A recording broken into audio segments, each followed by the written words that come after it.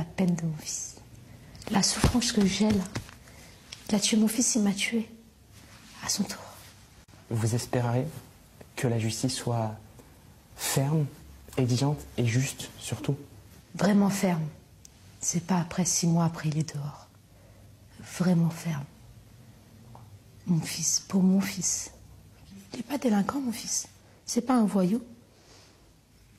Je suis désolée, c'est pas un voyou. Il manquait de rien. Je lui ai acheté tout. J'avais qu'un enfant. Depuis quelques heures, on assiste aussi à autre chose, à une récupération politique, de l'extrême droite à la droite, à la gauche aussi. Qu'est-ce que vous répondez à ces hommes politiques? Certains vont tenter d'être là cet après-midi à la Marche Blanche. Qu'est-ce que vous avez envie de leur dire Justice pour Naël. Justice pour Naël. C'est pas parce que, que c'est un. Justice pour Naël, tout simplement. Qu'il soit là pour Naël, pour la marche. Qu'il défende Naël. Qu'il défende tous nos enfants. Le policier ne peut pas prendre son arme et tirer sur nos enfants. Nous enlever la vie de notre enfant.